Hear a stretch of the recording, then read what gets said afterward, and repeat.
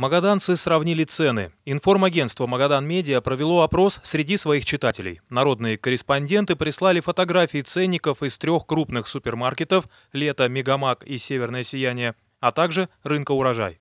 На последнем можно сэкономить на курином яйце. За десяток первой категории 89 рублей, но в соседнем отделе рынка уже на 6 рублей дороже. Самая дорогая свинина в Северном Сиянии, самая дешевая в Мегамаге. В этом гипермаркете аудитория Магадан Медиа нашла большую часть самых низких цен на продукты. Стоимость овощей и фруктов на прилавках варьируется в диапазоне до 50 рублей за килограмм в зависимости от магазина. Кстати, эти продукты существенно дополнили потребительскую корзину. Согласно ее новому составу, взрослый житель Магаданской области в год должен съедать не менее 100 килограммов овощей и 65 килограммов фруктов.